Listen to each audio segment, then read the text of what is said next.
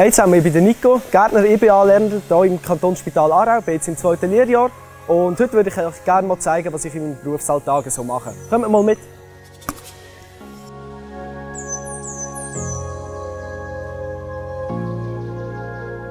In unserem Areal wachsen viele Bäume, Sträucher und Hecken und die bringen wir natürlich auch artgerecht und zum Teil auch kreativ in Form.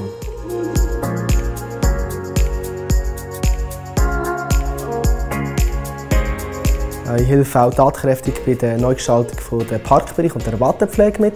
Das Pflanzen von Bäumen, Blumen und Sträuchern und dann sie sehen wachsen und blühen ist immer etwas, was mich sehr glücklich macht.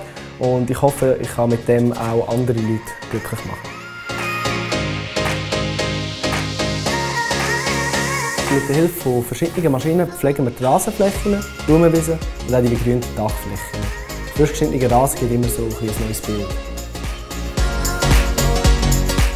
Die Sauberkeit wird bei uns natürlich auch groß geschrieben. Wir reinigen regelmäßig die Spielplätze, die Strassen und auch die Wege. Und es sammelt sich da halt schon auch einiges an Abfall an und der muss halt dann auch regelmäßig entsorgt werden.